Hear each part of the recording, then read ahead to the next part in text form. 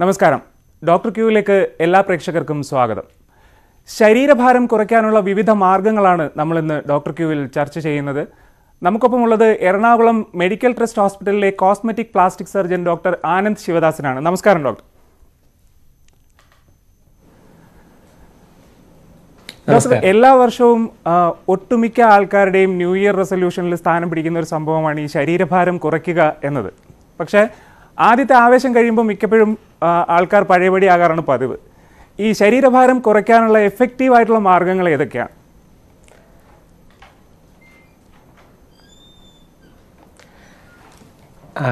പറഞ്ഞത് വളരെ ശരിയായിട്ടുള്ളൊരു കാര്യമാണ്. ന്യൂ ഇയർ ആകുമ്പോൾ നമ്മൾ എപ്പോഴും കാണുന്നൊരു കാര്യം എന്ന് വെച്ച് കഴിഞ്ഞാൽ ആദ്യത്തെ ഒരു മാസം എല്ലാവരും വളരെ വളരെയധികം ആവേശത്തോടു കൂടി അതിനുവേണ്ടി ഇറങ്ങിത്തിരിച്ച് ഒരു ജിമ്മിൽ മെമ്പർഷിപ്പ് എടുത്ത് ആദ്യത്തെ ഒരു മാസം കഴിയുമ്പോഴത്തേക്കും പിന്നെ ആവേശം കെട്ടടങ്ങി കഴിയുമ്പോൾ രണ്ടാമത്തെ മാസം പിന്നെ ആരെങ്കിലും ഉന്തി തള്ളിയാൽ മാത്രം തിരിച്ച് അവിടത്തേക്ക് പോകും എന്നുള്ള രീതിയിലായി മൂന്നാമത്തെ മാസം ആകുമ്പോഴത്തേക്കും നമ്മൾ തിരിച്ച് തുടങ്ങി എവിടെയാണോ അവിടെ തന്നെ എത്തുന്ന ഒരു പതിവാണ് നമ്മൾ പൊതുവെ കാണാറ്.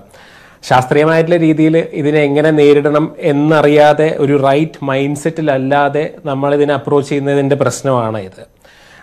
ഇപ്പോഴത്തെ ഒരു കാലഘട്ടത്തിൽ ശരീരപ്രകൃതി അല്ലെങ്കിൽ ശരീരത്തിന്റെ ആകാരത്തിന്റെ ഭംഗി വളരെയധികം ഇമ്പോർട്ടന്റ് ആയിട്ട് മാറിക്കൊണ്ടിരിക്കുന്ന ഒരു കാലഘട്ടത്തിലാണ് നമ്മൾ പണ്ട് കാലത്ത് നമ്മൾ വീട്ടിൽ ഇരുന്ന് വീട്ടിൽ ജോലി ചെയ്ത് ഒരു കല്യാണത്തിന് മാത്രം പത്തായിരം പേരെ കണ്ടുകൊണ്ടിരിക്കുന്ന മലയാളി ഇന്ന് ജോലിക്ക് വേണ്ടി പുറത്തുപോയി. ആണുങ്ങളായാലും പെണ്ണുങ്ങളായാലും നമ്മളിപ്പോൾ സോഷ്യൽ മീഡിയയിൽ ആക്റ്റീവ് ആവുകയും നമ്മളുടെ ഒരു ഫോട്ടോ ഇട്ടാൽ പോലും പതിനായിരം പേര് കാണുന്ന ഒരു സാഹചര്യത്തിൽ വളരെയധികം ഇമ്പോർട്ടന്റ് ആയിട്ടുള്ളൊരു കാര്യമാണ് നമ്മളുടെ കോസ്മെറ്റിക് അപ്പിയറൻസ് അത് കാരണം കൊണ്ട് തന്നെ ശരീര ഭംഗിയിലോട്ട് ഇൻവെസ്റ്റ് ചെയ്യുക എന്ന് പറഞ്ഞു കഴിഞ്ഞാൽ ഇന്നത്തെ കാലത്ത് വളരെ കോമൺ ആയിട്ടുള്ള ഒരു കാര്യമാണ്.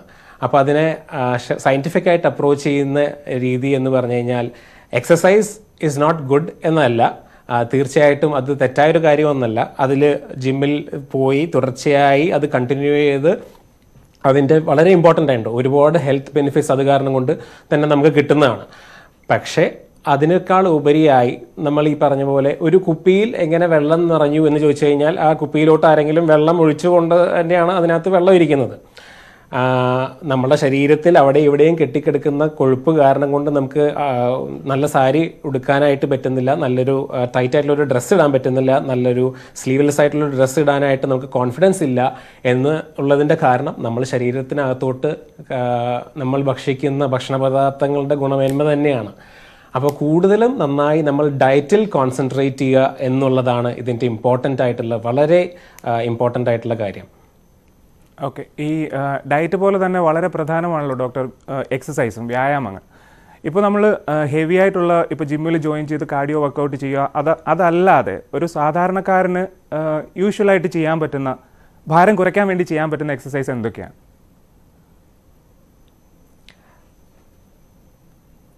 അതിനേക്കാൾ മുമ്പായിട്ട് നമ്മൾ ഡയറ്റിൽ ഒന്ന് കോൺസെൻട്രേറ്റ് ചെയ്യുക എന്നുള്ളത് ഞാൻ പറയാൻ ഉദ്ദേശിക്കുന്ന ഒരു കാര്യമാണ്. അതിനൊരു മെസ്സേജ് തരണമെന്ന് എനിക്ക് താല്പര്യമുള്ള ഒരു കാര്യം എന്താണെന്ന് വെച്ച് കഴിഞ്ഞാൽ തീർച്ചയായിട്ടും നമ്മളുടെ അടുത്തേക്ക് വരുന്ന ഒരു പേഷ്യന്റ് നമ്മളെപ്പോഴും എക്സസൈസ് റെജീമും കാര്യങ്ങളും എല്ലാം നമ്മൾ ചെയ്യിപ്പിക്കും. പക്ഷേ അവരുടെ ഡയറ്റിൽ അവർ ഇമ്പോർട്ടന്റ് ആയിട്ട് നമ്മൾ കോൺസെൻട്രേറ്റ് ചെയ്യേണ്ട കാര്യം എന്ന് വെച്ച് കഴിഞ്ഞാൽ പ്രത്യേകിച്ച് മലയാളിയുടെ ഒരു സൗത്ത് ഇന്ത്യൻ ഡയറ്റ് എന്ന് പറഞ്ഞു കഴിഞ്ഞാൽ ലോകത്തിൽ തന്നെ ഏറ്റവും കൂടുതൽ കാർബോഹൈഡ്രേറ്റ് കൺസംഷൻ ഉള്ള ആൾക്കാരാണെന്ന് വെച്ച് കഴിഞ്ഞാൽ ചിലപ്പോൾ ഒരു ഒരുപക്ഷെ സൗത്ത് ഇന്ത്യൻസ് അല്ലെങ്കിൽ മലയാളികളായിരിക്കും. കാരണം രാവിലെ ദോശ ഇഡ്ഡലി പുട്ട് ഉച്ചയ്ക്ക് ചോറ് വൈകുന്നേരം ചോറ് രാത്രി അങ്ങനെ ഉള്ള ഒരു ഡയറ്റാണ് നമ്മൾ ഫോളോ ചെയ്തുകൊണ്ട് വരുന്നത്. ഇതിന്റെ പ്രശ്നം എന്താണ് എന്ന് വെച്ച് കഴിഞ്ഞാൽ രാവിലെ ഉച്ചയ്ക്കും വൈകിട്ടും രാത്രി നമ്മൾ കാർബോഹൈഡ്രേറ്റ് വളരെയധികം കൂടുതലാണ് കഴിക്കുന്നത്. മറിച്ച് അതുമാത്രമല്ല പ്രോട്ടീന്റെ അളവ് വളരെ കുറവാണ്. സയന്റിഫിക് ആയിട്ട് ഇതിനെക്കുറിച്ച് പറയുകയാണെന്നുണ്ടെങ്കിൽ കാർബോഹൈഡ്രേറ്റിന്റെ അളവ് വളരെയധികം കുറച്ച് നമ്മൾ ഒരു കാലറി എത്രമാത്രം നമ്മളൊരു ദിവസം കഴിക്കുന്നുവെന്ന് നമ്മൾ ഒന്ന് ജസ്റ്റ് ഒന്ന് ഗൂഗിൾ ചെയ്ത് നോക്കിക്കഴിഞ്ഞ് കഴിഞ്ഞാൽ ഒരു മൊബൈൽ വാങ്ങിക്കാൻ വേണ്ടിയിട്ട് നമ്മൾ ഒരാഴ്ച ഇരുന്ന് റെഫറൻസ് ചെയ്യുന്ന പോലെ ഒരു പത്ത് മിനിറ്റ് ഇരുന്ന് കഴിഞ്ഞ് കഴിഞ്ഞാൽ നമുക്ക് ഏകദേശം ഒരു ദിവസം നമ്മൾ എത്ര കാലറി കഴിക്കണമെന്ന് നമുക്ക് മനസ്സിലാക്കാൻ പറ്റും. കാർബോഹൈഡ്രേറ്റ് കൂടിയ ആഹാര പദാർത്ഥങ്ങളായിട്ടുള്ള അരിയും അതുപോലെയുള്ള സാധനങ്ങളെല്ലാം കുറച്ച് ബാക്കിയുള്ള നോൺ വെജിറ്റേറിയൻസിനാണെന്നുണ്ടെങ്കിൽ ചിക്കൻ ഫിഷ് അതുപോലെയുള്ള എല്ലാ എല്ലാ തരത്തിലുള്ള ഇറച്ചി മുട്ട പാൽ ഇതുപോലുള്ള ഭക്ഷണ പദാർത്ഥങ്ങൾ പ്രോട്ടീനിലെ ഹൈ ക്വാളിറ്റി പ്രോട്ടീനുള്ള ഭക്ഷണ പദാർത്ഥങ്ങളാണ് വെജിറ്റേറിയൻസിനാണെന്നുണ്ടെങ്കിൽ ഇതുപോലെ പയർ വർഗങ്ങളുള്ള എല്ലാം സോയാബീൻ യോഗേർട്ട് എല്ലാം ഒരുപാട് കഴിക്കാൻ പറ്റുന്ന ഒരുപാട് കിഴങ്ങ് വർഗങ്ങളിൽപ്പെട്ടുള്ള കാർബോഹൈഡ്രേറ്റ്സ് കൂടിയിട്ടുള്ളതെല്ലാം ഒഴിവാക്കാം. അല്ലാതെ ബാക്കിയെല്ലാം വളരെ നന്നായിട്ട് അവർക്ക് യൂസ്ഫുൾ ആയിരിക്കുന്നതാണ്. ഈ ഒരു മൈൻഡ് സെറ്റിലായിരുന്നു കഴിഞ്ഞ് കഴിഞ്ഞാൽ ഇവിടെ നിന്ന് തുടങ്ങി കഴിഞ്ഞ് കഴിഞ്ഞാൽ പിന്നെ നാച്ചുറലി നമുക്കൊരു സഡൻ ആയിട്ടൊരു വെയിറ്റ് ലോസ് നമ്മൾ കണ്ടു തുടങ്ങും. ഡയറ്റിന്റെ ഇമ്പോർട്ടൻസ് നമ്മൾ വെയിറ്റ് ലോസിന്റെ സമയത്ത് ഒരു സെവന്റി പെർസെന്റേജോളമാണ് മറിച്ച് എക്സസൈസിനൊക്കെ ഒരു തേർട്ടി പെർസെന്റേജോളമാണ് നമ്മുടെ വെയിറ്റ് എത്രമാത്രം കൺട്രോൾ ചെയ്യാൻ പറ്റും അതിനെ കുറയ്ക്കാൻ പറ്റും എന്നുള്ളത്. ഈ കഴിക്കുന്ന സാധനം ബേൺ ചെയ്യാൻ വേണ്ടിയിട്ട് നമ്മൾ വർക്കൗട്ട് ചെയ്യുന്നതിനേക്കാൾ കൂടുതൽ അത് കഴിക്കാതിരിക്കുക എന്നുള്ളതാണ് കൂടുതൽ ഇമ്പോർട്ടന്റ് ആയിട്ടുള്ള കാര്യം. ശരി ഡോക്ടർ ഈ ഡയറ്റും എക്സസൈസും വെയിറ്റ് ലോസിന് വളരെ ഇമ്പോർട്ടന്റ് ആയിട്ടുള്ള കാര്യങ്ങൾ തന്നെയാണ്. ഇത് കൂടാതെ പെട്ടെന്ന് ശരീരഭാരം കുറയ്ക്കാൻ എന്തെങ്കിലും വഴിയുണ്ടോ?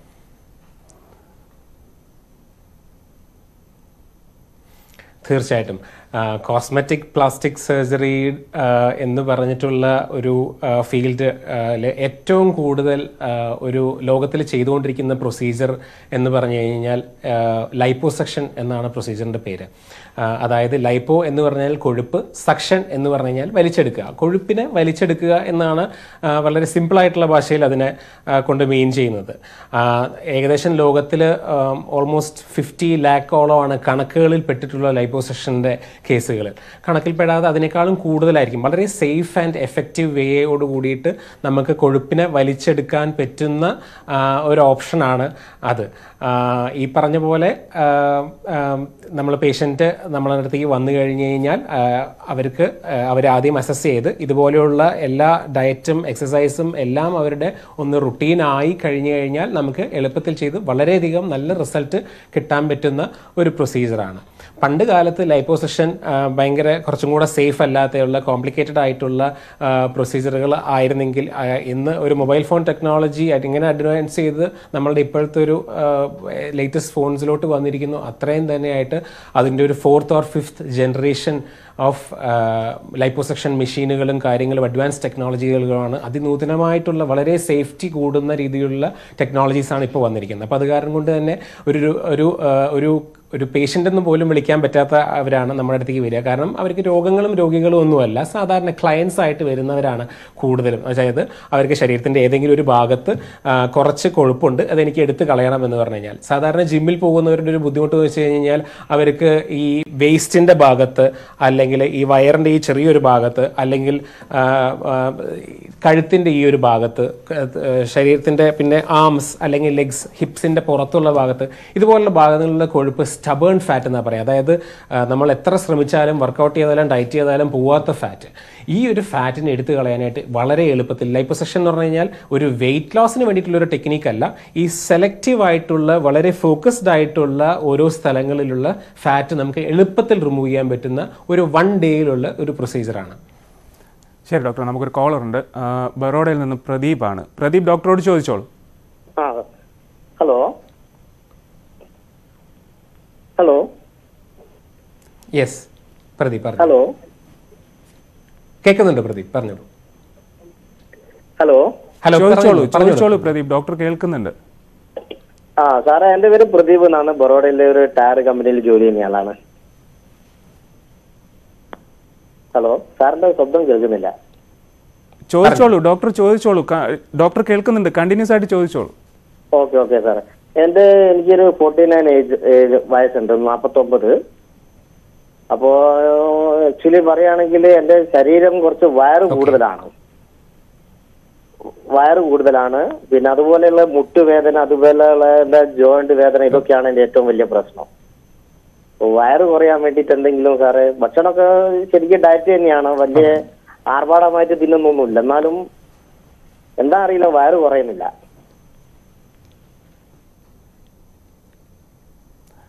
ഓൾറൈറ്റ് ഈ പറഞ്ഞ പോലെ പ്രതിവിന്റെ വളരെ നല്ലൊരു ചോദ്യമാണ്. നമുക്ക് വയറ് കുറയ്ക്കാനായിട്ടുള്ള പ്രൊസീജിയറുകൾ എന്ന് പറഞ്ഞു കഴിഞ്ഞാൽ നമ്മളിപ്പോൾ സംസാരിക്കുന്നത് ലൈപ്പോസെക്ഷനെ കുറിച്ച് മാത്രമാണ്. ചില രോഗികൾക്ക് ചില ആൾക്കാർക്ക് എങ്ങനെയാണെന്ന് വെച്ച് കഴിഞ്ഞാൽ ചിലപ്പോൾ ഒരു പോസ്റ്റ് പ്രഗ്നൻസി അല്ലെങ്കിൽ പ്രദീപ് പറഞ്ഞ പോലെ വയറ് നന്നായിട്ട് കൂടിയിരിക്കുന്നു അല്ലെങ്കിൽ അവർക്ക് അവിടുത്തെ തൊലി ഭയങ്കരമായിട്ട് തൂങ്ങിയിരിക്കുന്ന ആൾക്കാരാണെന്നുണ്ടെങ്കിൽ ചിലപ്പോൾ അവർക്ക് ടമി ടക്ക് അല്ലെങ്കിൽ അബ്ഡോമിനോ പ്ലാസ്റ്റി എന്ന് പറഞ്ഞൊരു പ്രൊസീജിയറും കൂടെ ചെയ്യേണ്ടി വന്നേക്കാം. അതുപോലെയുള്ള പ്രൊസീജിയറിന്റെ കൂടെ ചിലപ്പോൾ ലൈപ്പോസെക്ഷനും കൂടെ ചെയ്യാൻ ആയിട്ട് സാധ്യമാണ്. ഇത് നമ്മൾ അവരെ നേരിട്ട് കണ്ടു കഴിഞ്ഞ് അവർ അസസ് ചെയ്താൽ മാത്രം എടുക്കാൻ പറ്റുന്നൊരു ഡിസിഷനാണ് അപ്പോൾ നോർമലി ഇതുപോലെയുള്ള ഈ രണ്ട് പ്രൊസീജിയറുകളിൽ ഏതെങ്കിലും ഒരെണ്ണോ അല്ലെങ്കിൽ ഇത് രണ്ടും കൂടെ കമ്പൈൻഡ് ആയിട്ടോ ചെയ്യുന്നൊരു പ്രൊസീജിയറിൽ ഇതുപോലുള്ള വയറ് കുറയ്ക്കാവുന്ന നല്ലൊരു മാർഗം തന്നെയാണ് ഈ ലൈപ്പോസെക്ഷൻ അഥവാ അബ്ഡോമിനോപ്ലാസ്റ്റി എന്ന് പറയുന്ന പ്രൊസീജിയർ ശരി ഡോക്ടർ ഈ ലൈപ്പോസെക്ഷൻ പ്രൊസീജിയർ ഒന്ന് എക്സ്പ്ലെയിൻ ചെയ്യാമോ? ഇത് എങ്ങനെയാണ് ചെയ്യുന്നത്? ഇതിന് എത്ര സമയമെടുക്കും? എത്ര എത്രത്തോളം വെയിറ്റ് നമുക്ക് ഒറ്റ സെക്ഷനിൽ കുറയ്ക്കാൻ പറ്റും? ഒന്ന് എക്സ്പ്ലെയിൻ ചെയ്യാം.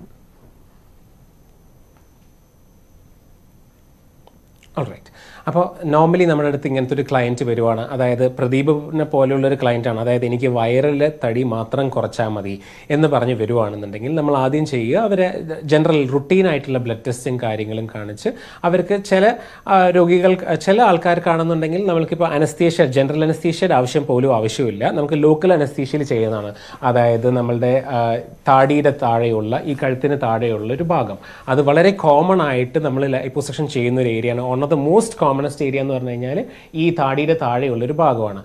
നമുക്ക് എല്ലാവർക്കും അറിയാം നമ്മുടെ ഫേസ് ഏജ് നമുക്ക് എളുപ്പത്തിൽ മനസ്സിലാവുന്ന ഒരു ഒരാളെ നോക്കിക്കഴിഞ്ഞാൽ കാണാൻ പറ്റും. നമ്മൾ അവരുടെ കഴുത്തിന്റെ ഭാഗത്തേക്ക് നോക്കിയാൽ മതി എന്ന് പറയുക കാരണം അവരുടെ പ്രായം നന്നായിട്ട് മനസ്സിലാവും എന്നുള്ളതാണ്. കാരണം കഴുത്ത് ചിലപ്പോൾ തൂങ്ങിയിട്ടുണ്ടാവും. അല്ലെങ്കിൽ തൂങ്ങിട്ടില്ലാത്ത കഴുത്തിലാണെന്നുണ്ടെങ്കിൽ ചിലപ്പോൾ ഈ ഒരു സൈഡിലാണെന്നുണ്ടെങ്കിൽ അവരുടെ കൊഴുപ്പ് കെട്ടിയിട്ട് അവിടെ അവിടെയും ആ ഒരു ആംഗിൾ ഈ ഒരു ആംഗിൾ എന്ന് പറയുന്നത് നല്ല നമ്മളുടെ വളരെ ഭംഗിയുള്ള നമ്മളുടെ എല്ലാ മുഖങ്ങളും നോക്കിക്കഴിഞ്ഞ് കഴിഞ്ഞാൽ നമ്മളുടെ കൂടെ കാണുന്ന ആൾക്കാരുടെയോ അല്ലെങ്കിൽ സെലിബ്രിറ്റീസ് ആണെങ്കിലോ നോക്കിക്കഴിഞ്ഞാൽ കാണാൻ പറ്റും. ഈ ഒരു ആംഗിൾ സർവൈക്കോ മെന്റൽ ആംഗിൾ എന്ന് പറഞ്ഞിട്ടുള്ള ഈ ഒരു ആംഗിൾ ഭയങ്കര അക്യൂട്ട് ഭയങ്കര ഷാർപ്പായിരിക്കും ആ ഒരു ഷാർപ്നെസ് കിട്ടാൻ വേണ്ടിയിട്ടാണ് ഇവിടുത്തെ കൊഴുപ്പെടുത്ത് കളയുന്നത് അപ്പോൾ അതുപോലൊരു പ്രൊസീജിയർ ആണെന്നുണ്ടെങ്കിൽ ഒരൊറ്റ സെഷനിൽ നമുക്ക് അന്ന് തന്നെ ലോക്കൽ അനസ്തീഷ്യയിൽ ചെയ്യാവുന്ന ഒരു പ്രൊസീജിയറാണ് മറിച്ച് കുറച്ച് കൂടുതൽ ഏരിയ ഉണ്ട്. നമുക്ക് കയ്യിലെ കുറയ്ക്കണം കാലിലെ കുറയ്ക്കണം വയറിലെ കുറയ്ക്കണം. അങ്ങനെയാണെന്നുണ്ടെങ്കിൽ മാത്രമാണ് നമ്മൾ ഒരു ജനറൽ അനസ്തീഷ്യ എന്ന് പറഞ്ഞൊരു അനസ്തീഷ്യന്റെ ഓപ്ഷൻ എടുക്കേണ്ട ആവശ്യമുള്ളൂ. അങ്ങനെയാണെന്നുണ്ടെങ്കിൽ അവർ ആ ദിവസം രാവിലെ വന്ന് നമ്മൾ അഡ്മിറ്റ് ചെയ്തു വന്ന് നമുക്ക് പ്രൊസീജിയർ ഒരു ഒരു രണ്ട് മൂന്ന് മണിക്കൂറിൽ ചെയ്യുന്ന ഒരു പ്രൊസീജിയറാണ് എന്താണെന്ന് വെച്ച് കഴിഞ്ഞാൽ ആദ്യം തന്നെ നമ്മൾ കീ ഹോൾ സർജറി നിങ്ങൾ എല്ലാവരും കേട്ടിട്ടുണ്ടാവുന്ന ഒരു കാര്യമാണ്. അതായത് അപ്പൻഡിക്സ് റിമൂവൽ അല്ലെങ്കിൽ ഗോൾ ബ്ലാഡർ റിമൂവൽ എന്ന് പറഞ്ഞിട്ടുള്ള പ്രൊസീജിയറിനൊക്കെ നമ്മളിപ്പോൾ വളരെ നൂതനമായിട്ട് പറയുന്ന ഒരു കാര്യമാണ് കീ ഹോൾ അതായത് വളരെ ചെറിയ സുഷിരങ്ങളിലൂടെ ചെയ്യുന്ന. ആ അതിനകത്തുള്ള കീ ഹോൾ എന്ന് പറയുന്ന കീ ഹോളിന്റെ വലിപ്പം അഞ്ച് മില്ലിമീറ്റർ തൊട്ട് ഒരു മില്ലിമീറ്റർ ഒരു പത്ത് മില്ലിമീറ്റർ വരെയാണ് അതിന്റെ കീ ഹോളിന്റെ വലിപ്പം. ലൈപ്പോസെക്ഷനകത്തുള്ള കീ ഹോളിന്റെ വലിപ്പം എന്ന് പറഞ്ഞാൽ രണ്ടോ മൂന്നോ മില്ലിമീറ്റർ മാത്രമേ ഉള്ളൂ എന്നുള്ളതാണ് ലൈപ്പോസെക്ഷന്റെ മാജിക് ആ ഒരു അപ്പോൾ അത് അത് മാത്രമല്ല ആ കീ ഹോളിൽ കൂടെ വളരെ നമുക്ക് കാണാൻ കഴിയാത്ത ഉള്ള സ്ഥലങ്ങളിലാണ് ആ കലകൾ അപ്പോൾ നമ്മൾ പ്ലേസ് ചെയ്യുക. എന്നിട്ട് ആ കീ ഹോളിൽ കൂടെ നമ്മൾ ഈ ഫാറ്റിനെ വലിച്ചെടുക്കുകയാണ് ചെയ്യുന്നത്. അത് ഈ പറഞ്ഞ പോലെ പലതരം മെഷീനുകളുണ്ട് വളരെ അഡ്വാൻസ്ഡ് ആയിട്ടുള്ള ലൈപ്പോസെക്ഷൻ മെഷീൻസും ടെക്നീക്സും വരെ ഉപയോഗിച്ചിട്ട് വളരെ ഓൾഡ് ജനറേഷൻ ആയിട്ടുള്ള ലൈപ്പോസെക്ഷൻ ടെക്നീക്സ് വരെയുണ്ട്. അപ്പോൾ നിങ്ങൾ എപ്പോഴും പ്രിഫർ ചെയ്യുമ്പോൾ എപ്പോഴും അതൊരു ലേറ്റസ്റ്റ് ടെക്നോളജി അവിടെ ഉണ്ടോ? അതിനകത്ത് വളരെ ക്വാളിഫൈഡ് ആയിട്ടുള്ള പ്ലസ് സർജൻ തന്നെയാണോ അത് ചെയ്യുന്നത് എന്നുള്ളത് നിങ്ങൾ എപ്പോഴും ഉറപ്പിക്കേണ്ട ഒരു കാര്യമാണ്. ചെയ്ത് കഴിഞ്ഞിട്ട് നമുക്ക് കൂടി വന്നു കഴിഞ്ഞ് കഴിഞ്ഞാൽ ഒരു രണ്ടോ മൂന്നോ മണിക്കൂർ ഒബ്സർവേഷനിൽ ഒന്ന് കിടക്കേണ്ടി വരും. അത് കഴിഞ്ഞ് കഴിഞ്ഞാൽ അന്ന് തന്നെ മിക്കവാറും തിരിച്ചു പോകാവുന്ന ഒരു പ്രൊസീജിയറാണ് കംപ്ലീറ്റ് ലൈ ലൈപ്പോസെക്ഷൻ എന്ന് പറഞ്ഞിട്ടുള്ള പ്രൊസീജിയർ ഇതിനകത്ത് നമുക്ക് പറയുവാണ് ഇപ്പോൾ ഈ എടുത്ത ഫാറ്റ് അതായത് ഫാറ്റ് എന്ന് പറഞ്ഞു കഴിഞ്ഞാൽ വാക്യൂം ക്ലീനർ കൊണ്ട് നമ്മൾ അഴുക്കിനെ വലിച്ചെടുക്കുക എന്ന് പറഞ്ഞ പോലത്തെ ഒരു കാര്യമല്ല. പ്ലാസ്റ്റിക് സർജനെ സംബന്ധിച്ചിടത്തോളം ഫാറ്റിനെ നമ്മൾ വളരെ വാല്യുബിൾ ആയിട്ട് കാണുന്ന ആൾക്കാരാണ് ഈ ഫാറ്റിനെ നമ്മൾ പ്ലാസ്റ്റിക് സർജൻസിന്റെ ഭാഷയിൽ ലിക്വിഡ് ഗോൾഡ് എന്നാണ് വിളിക്കുന്നത്. അതിന്റെ അർത്ഥം എന്ന് വെച്ച് കഴിഞ്ഞാൽ അത്രയും പ്രഷ്യസ് ആയിട്ടുള്ള മെറ്റീരിയൽ ആയിട്ടാണ് നമ്മൾ അതിനെ കാണുന്നത്. കാരണം എന്ന് വെച്ച് കഴിഞ്ഞാൽ നമുക്ക് ഈ ഫാറ്റിനെ എടുത്തുകൊണ്ട് എന്ത് വേണമെങ്കിലും ചെയ്യാൻ പറ്റും. നമ്മുടെ ശരീരത്തിന്റെ ഏതെങ്കിലും ഒരു ഭാഗത്ത് നമുക്ക് പ്രോമിനൻസ് കുറച്ച് കുറവാണ്. അത് അവിടെ കൂട്ടണം എന്നുണ്ടെങ്കിൽ നമുക്കിപ്പോൾ അറിയാം ചില ലേഡീസിനുള്ളൊരു വലിയൊരു ബുദ്ധിമുട്ട് ബ്രസ്റ്റിന്റെ സൈസ് കുറവാണ് എന്നുള്ളതാണ്. നമുക്ക് ഈസി ആയിട്ട് ഇതുപോലൊരു ലൈപ്പോസെഷൻ ചെയ്ത് കഴിഞ്ഞ് കഴിഞ്ഞാൽ നമുക്ക് ആ ബ്രസ്റ്റിനകത്തോട്ട് ഈ എടുത്ത ആളുടെ ആളുടെ അതേ ഫാറ്റ് തന്നെ എടുത്ത് നമുക്ക് ബ്രസ്റ്റിലോട്ട് ബ്രസ്റ്റ് ഓഗ്മെന്റേഷൻ എന്ന് പറഞ്ഞൊരു പ്രൊസീജിയർ അതിന്റെ കൂടെ കമ്പൈൻ ചെയ്യാം. മറിച്ച് നമുക്ക് ബട്ടക്സ് എന്ന് പറഞ്ഞിട്ടുള്ള ഏരിയ നമ്മുടെ ബാക്കിലുള്ള ബട്ടക്സിലോട്ട് വേണമെന്നുണ്ടെങ്കിൽ നമുക്ക് ഇത് കൂട്ടിക്കഴിഞ്ഞാൽ കുറച്ചും കൂടെ ആകൃതിയും ഷേപ്പും നമുക്ക് കിട്ടാൻ കഴിയും. ഏറ്റവും കൂടുതൽ ആൾക്കാർ പ്രിഫർ ചെയ്യുന്നത് വേസ്റ്റ് ലൈൻ അല്ലെങ്കിൽ ഫ്ലാങ്ക് ലൈപ്പോസെക്ഷൻ ഈ ഒരു ഭാഗത്തെ ലൈപ്പോസെക്ഷൻ ആണ് അതായത് വേസ്റ്റ് ഏരിയ കാരണം എന്ന് വെച്ച് കഴിഞ്ഞാൽ വേസ്റ്റ് ഹിപ്പ് റേഷ്യോ എന്ന് പറഞ്ഞൊരു റേഷ്യോ ഉണ്ട്. നമ്മൾ അറിഞ്ഞോ അറിയാതെ നമ്മൾ എല്ലാവരും കാണിക്കുന്ന അല്ലെങ്കിൽ നമ്മളുടെ ഈ പറഞ്ഞ പോലെ ഭയങ്കര പോപ്പുലർ ഭയങ്കര ഫേമസ് ആയിട്ടുള്ള പ്രതിമകളിലും എല്ലാവരെയും കണ്ടു കഴിഞ്ഞാൽ എല്ലാം ശ്രദ്ധിക്കും. ഒരു ഫീമെയിൽ ബ്യൂട്ടിയുടെ ഒരു ഇൻഡിക്കേറ്റർ എന്ന് പറഞ്ഞു കഴിഞ്ഞാൽ വേസ്റ്റ് ഭയങ്കര ചെറുതും അത് കഴിഞ്ഞിട്ട് ഹിപ്പ് കുറേയും കൂടെ വലുതുമായിട്ടുള്ള ഒരു പ്രകൃതമാണ് അപ്പോൾ അതിന് വേണ്ടിയിട്ട് വേസ്റ്റ് നമ്മൾ മാക്സിമം സ്നിച്ച്ഡ് അല്ലെങ്കിൽ സ്നാച്ച്ഡ് ലുക്ക് ആക്കി എടുക്കുന്നത് അത് കണ്ടുകൊണ്ട് തന്നെ ഭയങ്കര ഇമ്പോർട്ടന്റ് ആണ്. എന്നിട്ട് ആ ഫാറ്റ് നമ്മൾ എടുത്തിട്ട് ആവശ്യം ഉണ്ടെന്നുണ്ടെങ്കിൽ നമ്മളത് ഹിപ്പ് ഓഗ്മെന്റേഷൻ അല്ലെങ്കിൽ ബ്രസ്റ്റ് ഓഗ്മെന്റേഷൻ അതുപോലുള്ള പ്രൊസീജിയറുകൾക്ക് വേണ്ടി വേണമെങ്കിൽ ഉപയോഗിക്കും. ഇത് മാത്രമല്ല വേണമെന്നുണ്ടെങ്കിൽ ജോ ലൈൻ കറക്റ്റ് ചെയ്യുക അല്ലെങ്കിൽ ഇതുപോലുള്ള നമ്മുടെ ഫേസിൽ കുറച്ച് യൂത്ത്ഫുൾനെസ് കൂട്ടാനായിട്ട് അത് പി ആർ പി ആയിട്ട് ആ ഫാറ്റിന് ഉപയോഗിക്കുക. അങ്ങനെ ഫാറ്റ് കൊണ്ട് ഒരുപാട് യൂസ് ഉണ്ട്. നമുക്ക് ഈ എടുത്ത ഫാറ്റ് കൊണ്ട് പിന്നീട് നമുക്ക് ചെയ്യാനായിട്ട്. അത് ഡിപ്പെൻസ് ഓൺ ഈച്ച് ക്ലയന്റ് അവർക്ക് അതിന്റെ അവരുടെ ആവശ്യങ്ങളും അതിനനുസരിച്ചിട്ട് നമ്മളത് മാറ്റി മറിച്ച് അവർക്ക് അതിന്റെ കോമ്പിനേഷൻസ് ആ ട്രീറ്റ്മെന്റിൽ അവർക്ക് നമ്മളത് ഓഫർ ചെയ്ത് കൊടുക്കുന്നതാണ്. ശരി ഡോക്ടർ നമുക്കിപ്പോൾ ഒരു ഇടവേളയ്ക്ക് സമയമായി. നമുക്കൊരു ബ്രേക്ക് എടുത്തിട്ട് തിരിച്ചു വരാം. ഡോക്ടർ ക്യൂൽ ഒരു ഇടവേള.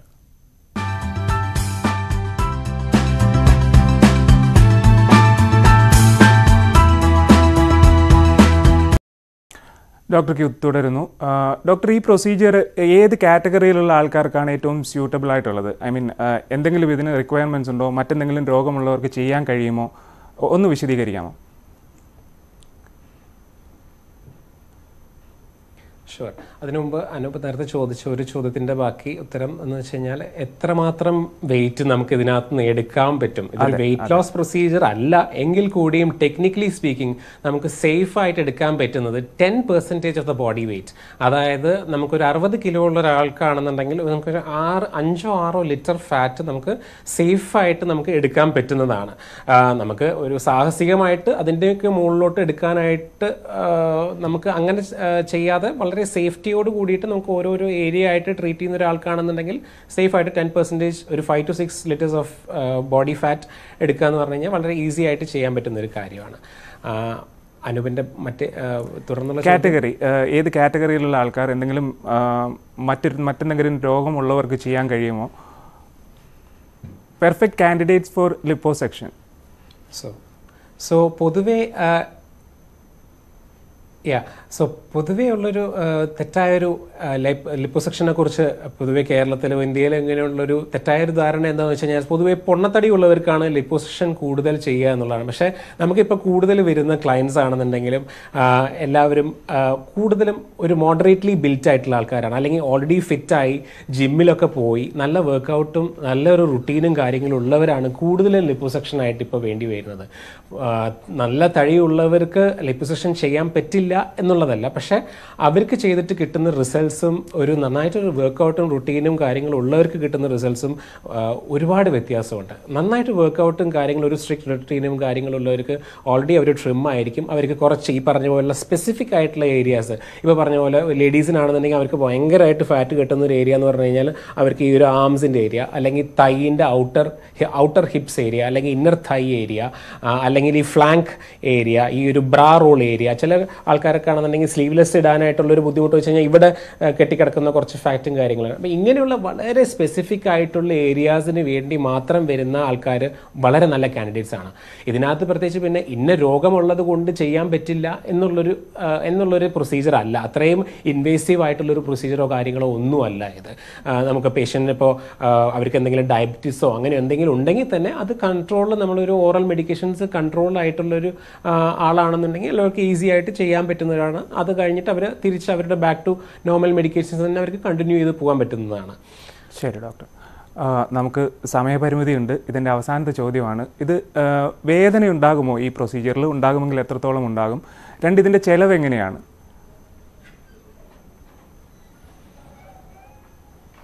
ഓക്കെ ഇതിന്റെ വേദന വേദന എന്ന് പറഞ്ഞു കഴിഞ്ഞാൽ ഡിപ്പെൻസ് ഓൺ ദി ഏരിയ ആണ്. നമ്മൾ സമയം പറഞ്ഞു ലോക്കൽ അനസ്തീഷ്യ ഇൻഫിൽട്രേറ്റ് ചെയ്തിട്ടാണ്. ലോക്കൽ അനസ്തീഷ്യയിലാണ് നോർമലി നമ്മൾ ചെറിയ ഏരിയകളൊക്കെ ചെയ്യുക. അപ്പോൾ അവിടെ തരിപ്പിച്ച് മരവിപ്പിച്ചതിന് ശേഷമാണ് നമ്മൾ ചെയ്യുന്നത്. സാധാരണ ഒരു ബ്ലഡ് ടെസ്റ്റ് എടുക്കാനായിട്ട് നമ്മളിപ്പോൾ ഒരു സൂചി കിട്ടിയാൽ ഉണ്ടാവുന്ന വേദനയാണ് ആദ്യത്തെ ഇനീഷ്യൽ ഒരു പങ്ക്ചറിൽ ഉണ്ടാവുന്നത്. അത് കഴിഞ്ഞ് കഴിഞ്ഞാൽ പിന്നെ അത് കഴിഞ്ഞ് ലോക്കൽ അനസ്തീഷ്യ അതിനകത്തോട്ട് നമ്മൾ കുത്തി മരവിപ്പിച്ച് കഴിഞ്ഞ് കഴിഞ്ഞാൽ പിന്നെ ഒന്നും തന്നെ നമ്മൾ അറിയാൻ പോകുന്നില്ല.